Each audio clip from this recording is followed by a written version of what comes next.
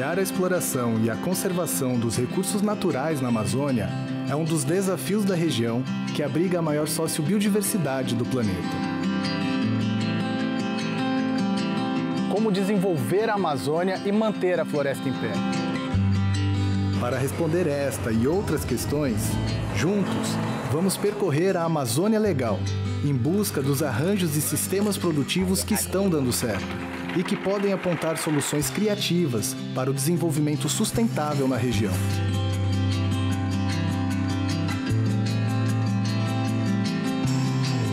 O que nós vamos investigar é como que os arranjos produtivos estão conversando com a conservação e com o desmatamento.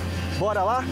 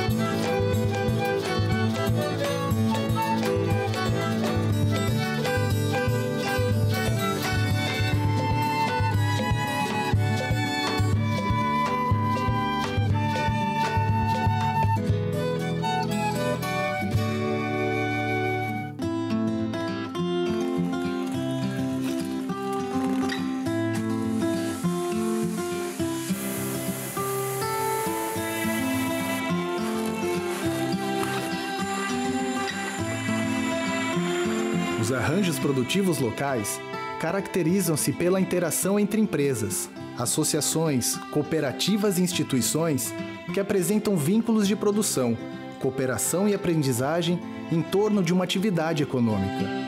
A atuação em conjunto, de forma compartilhada e sustentável, fortalece a cadeia produtiva, aumentam as chances de sobrevivência das empresas, incentiva a geração de emprego e renda e ainda agrega valor ao produto final, que fica cada vez mais competitivo e rentável.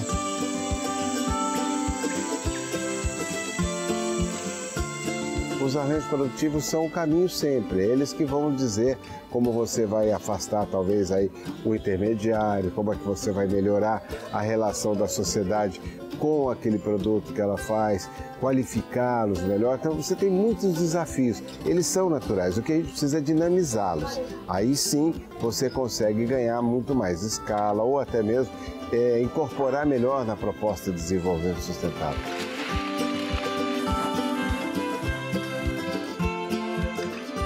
Com a mala cheia de perguntas, embarco em busca de sistemas e arranjos produtivos que podem apontar soluções criativas para o desenvolvimento sustentável da região, que abriga a maior sociobiodiversidade do planeta.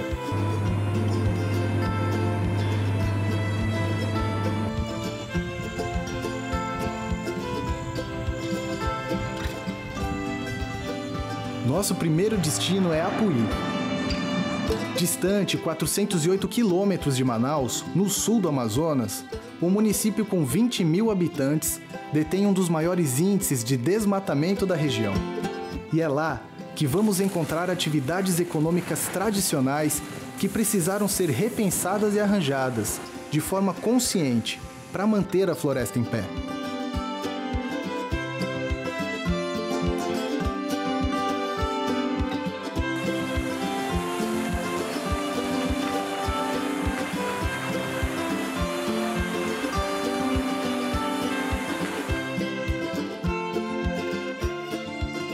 É cortado pela Transamazônica. Diferente de qualquer outro município do estado do Amazonas, Apuí não se desenvolve às margens de um grande rio. Sua ocupação se dá estimulada pelos governos da ditadura militar, atraindo muitas pessoas da região sul do país. Aqui se estabeleceu um dos maiores projetos de assentamento rural da América Latina.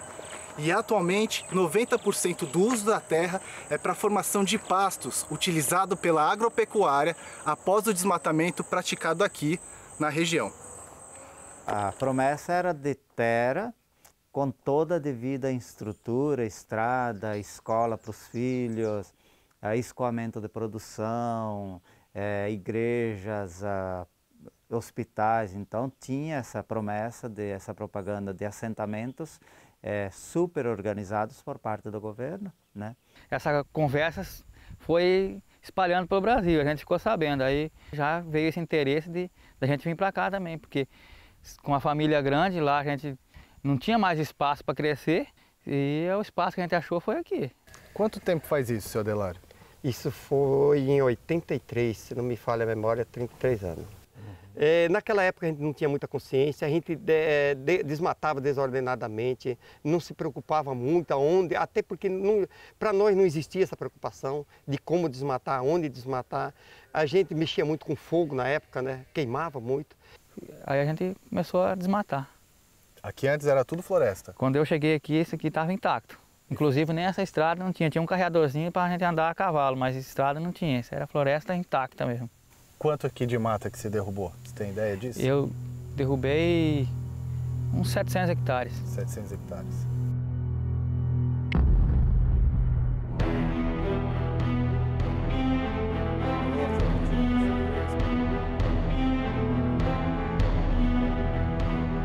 As dificuldades de logísticas, de escoamento da produção e a falta de mercado para os produtos agrícolas fez com que muitas famílias deixassem a agricultura e partissem para a pecuária, desmatando áreas cada vez maiores para a criação de novos pastos.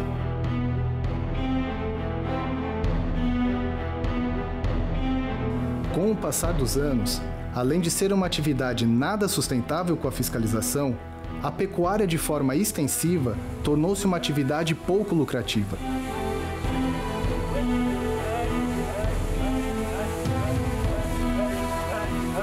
Produtores já vinham percebendo que essa atividade pecuária não era uh, sustentável no, no, nos moldes em que é feita, né? que, como sabemos, uh, exige desmatamento ilegal, ocupação ilegal, então, para o agricultor de base familiar, é uma atividade que não se sustenta ao longo do tempo. E aí, ao passar do longo dos anos, eu percebi assim, o potencial da terra estava cada vez menor. É, mais áreas abertas, menos gado é, é, ali pastando, uhum. porque a área estava degradando rapidamente. Né? Aí foi em final de 2013, se não me falha a memória, comecinho de 2014, eu resolvi dar um basta nisso. Eu falei, eu vou ter que procurar ajuda, eu preciso mudar essas atividades nossas aqui, porque eu não estava vendo que isso estava sendo de uma forma sustentável. Eu estava vendo que logo eu não ia poder nem criar a minha família mais em cima dessa propriedade, que dirá os meus netos, né? Então, eu, eu achei que eu tinha que mudar. E aí foi que eu comecei a buscar essas ajudas. Tem ideia? Como que seria? E... Não, aqui ó, meu filho. É, a produção depende do que? Do solo, da água, das espécies que estão ali. Então, se a gente não cuidar disso, a gente não vai ter uma boa produção.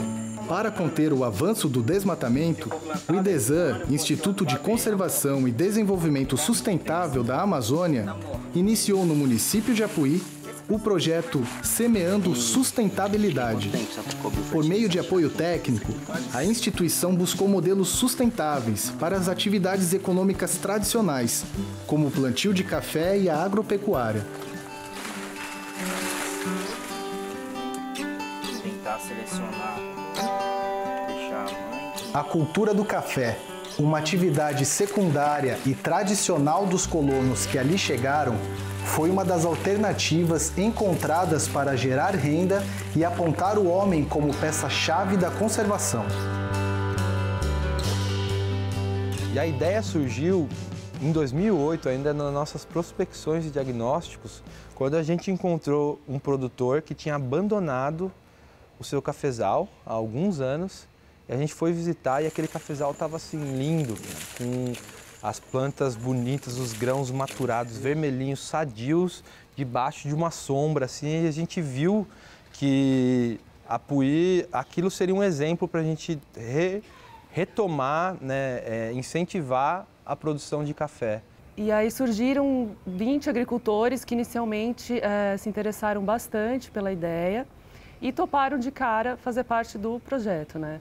Esses produtores já trabalhavam com café, mas de maneira convencional, né? O café a pleno sol.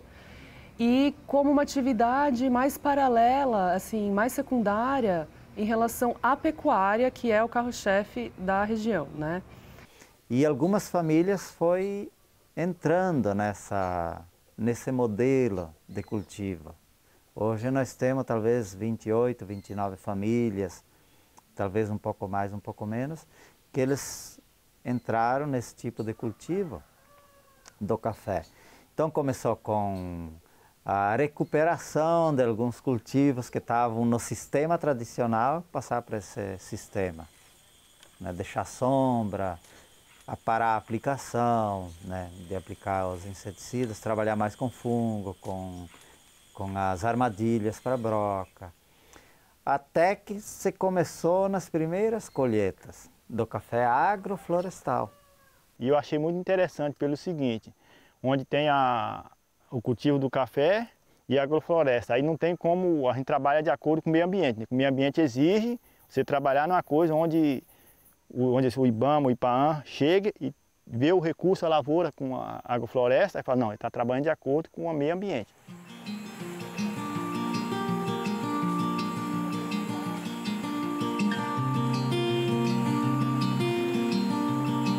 Plantado em sistemas agroflorestais, os cafezais se transformaram em verdadeiros oásis em meio à paisagem devastada. Os SAFs, sistemas agroflorestais, imitam a natureza, devolvendo a biodiversidade para os sistemas de produção.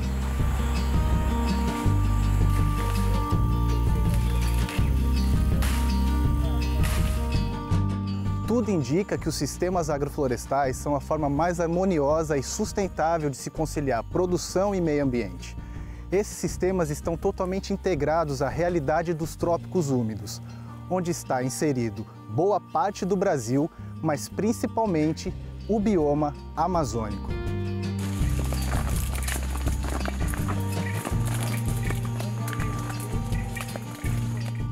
Mas assim, esse sistema de agrofloresta de se plantar, ele traz um benefício econômico? Ele é melhor para o café? Qual que é o diferencial dele assim para vocês? Eu acho que traz uma, um, um lucro mais, melhor por causa do, o café ele não é, não é uma lavoura muito de sol, né? Então a ajuda e a, a situação financeira e econômica é bem mais elevada, eu acho. Antes, no, no início do projeto, a, a, média de saca por hectare era de 9 sacas. Através da, das práticas que eles aplicaram, saiu de 9 sacas para 24 sacas de café por hectare.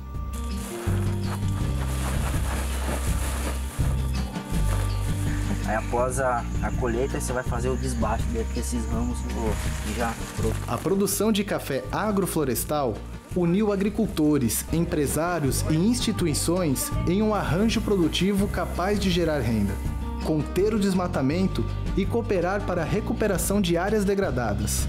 Produzido por agricultores locais, o plantio dos cafezais ocorre em sistemas agroflorestais. Junto com o café, são plantadas outras espécies, que também podem gerar renda para o produtor nos períodos de entre-safra.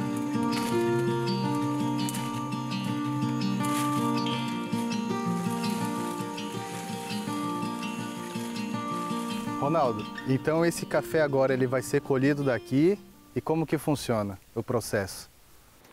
É, de, colhe, vai para o terreiro, seca, aí a gente leva para o Leandro, que é o o cara que beneficia o café no, no nosso, né?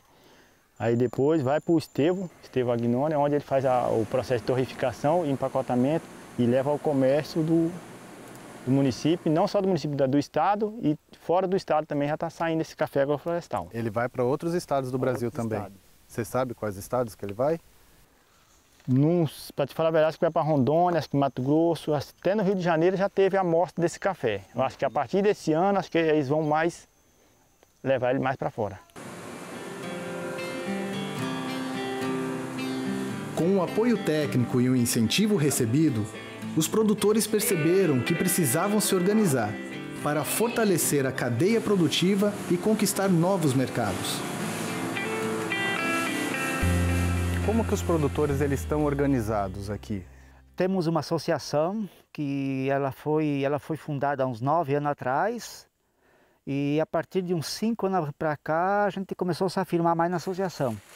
Agora, um ano atrás, conseguimos um trator e estamos indo agora. O objetivo agora para frente é conseguir máquina de café para tentar beneficiar nosso produto aqui na lavoura e que o beneficiamento dele seja melhor ainda. Qual que é a importância de ter uma associação desses produtores estar reunidos? Como que o senhor enxerga isso? Bom, é, o objetivo principal é a gente sabe que a união faz a força. Hum. Então é, às vezes as coisas fica difícil de você conseguir elas individual pelo valor delas, pela situação econômica. Então você se reunindo com as pessoas e você acaba dividindo as tarefas. Então fica mais fácil de uma pessoa procurar um assunto, outra pessoa procurar outro assunto e assim a gente vai crescendo, vai indo. A certificação de vocês, ela também vem nessa questão dos produtores estarem unidos? Estarem unidos. A certificação na, na questão dos produtores estarem unidos, com organização, com comunitário, com um conjunto de pessoas que a gente consegue isso melhor.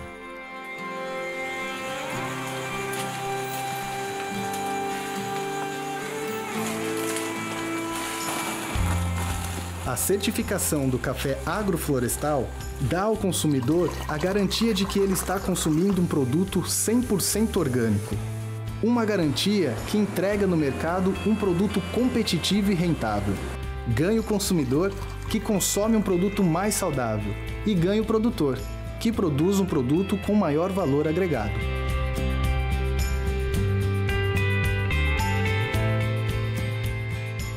Nós estamos acreditando e Desan está confiando nisso, que a certificação vai ajudar a ganhar mercado.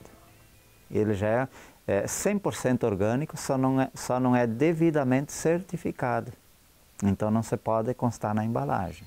Consumidor que está nas grandes cidades, que não tem contato com esse universo da produção orgânica, produção agroecológica, ele precisa de uma garantia. Né? Então é justo para ele e é justo para o produtor também porque embora ele tenha que passar por burocracias e é, um milhão de processos né, para provar que o produto dele é saudável, né, ele tem aquele preço garantido lá na frente.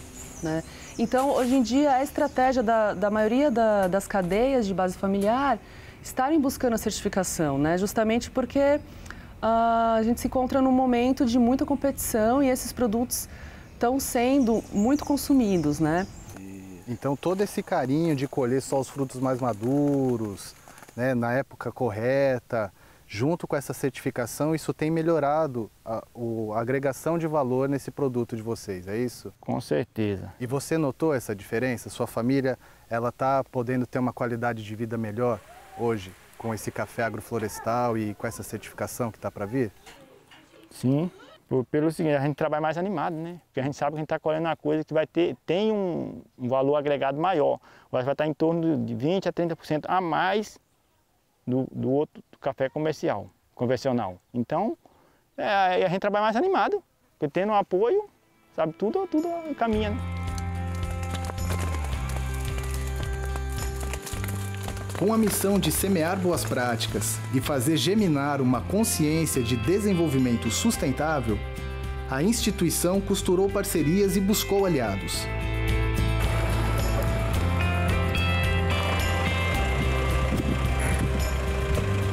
Boa tarde, seu Darcy. Tudo bem? Tudo bem, boas-vindas. No viveiro Santa Luzia, encontrei o Sr. Darcy, parceiro da instituição e proprietário do único viveiro legalizado da região. Qual que é o estímulo que tem aqui para fazer esse reflorestamento das áreas que já foram desmatadas? O IDESAM fortalece isso aí assim. O pequeno agricultor às vezes não tem dinheiro para comprar muda, mas o IDESAM está fortalecendo, está distribuindo muda. Então isso aí é muito bom, a gente vê o interesse de cada um, porque olha, eu não estou aqui só para ganhar dinheiro. Eu preciso ganhar dinheiro. Claro. Eu tenho um gasto grande de funcionário tudo, mas o que eu mais interesso é que se plante árvores e preserve um pouco esse meio ambiente, né? O WWF, junto com os parceiros locais, né, vem procurando envolver os produtores nessa causa da restauração, né, da, da implementação do Código Florestal, que traz muitas oportunidades para o produtor também. É, então é um trabalho de base, de mobilização e de buscar o engajamento dos produtores.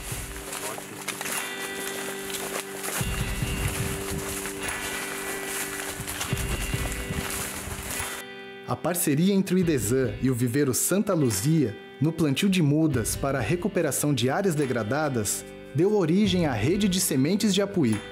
Além de garantir matéria-prima para o viveiro do seu Darcy, a rede gera emprego e renda para os coletores de sementes que atuam na região.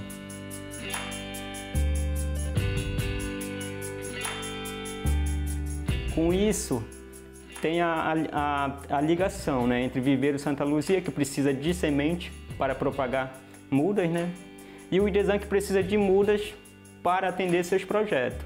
Então, esse casamento vem para, para contemplar, né, ou seja, um está necessitando do outro, né? Então essa parceria vem com esse objetivo, né? De fortalecer a cadeia produtiva tanto de semente quanto de muda, né? Mas visando sempre valorizar os coletores, né?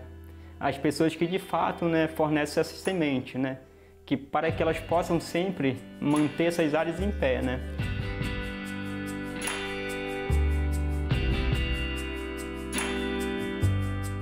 Além do café agroflorestal, o IDESAN buscou outros modelos para a criação de gado de forma mais sustentável. A ideia é frear a agropecuária extensiva, barrar a abertura de novos pastos e aumentar o número de cabeças de gado por hectare, aproveitando o que a natureza já oferece.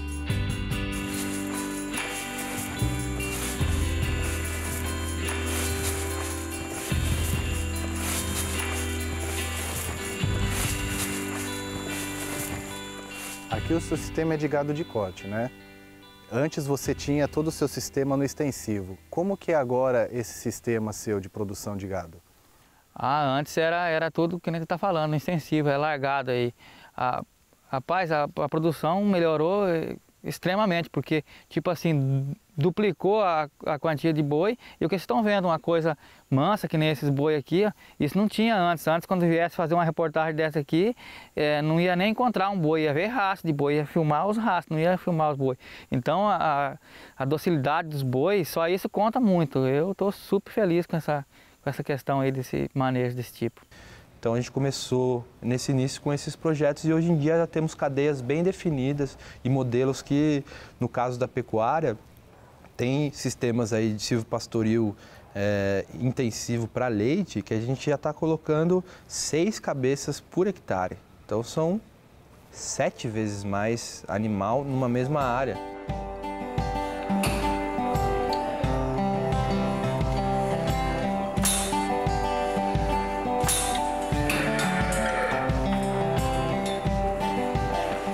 Questão da produção de leite, como que é o negócio do senhor? O senhor produz o leite, o senhor vende o leite, processa, como que você está dando o seu empreendimento? E a gente faz a ordenha né, da, dos nossos animais dentro da nossa propriedade, a gente trabalha exclusivamente com a nossa produção. Esse leite ele, ele é passado para dentro de uma pequena indústria, onde ele é, a gente acaba agregando valor nele, né, transformando ele em queijo, transformando ele em, em iogurte, o próprio leite ainda em natura, mas em breve pasteurizado. Então a gente também trabalha com nata e manteiga e dessa forma a gente conseguiu melhorar muito a renda da família.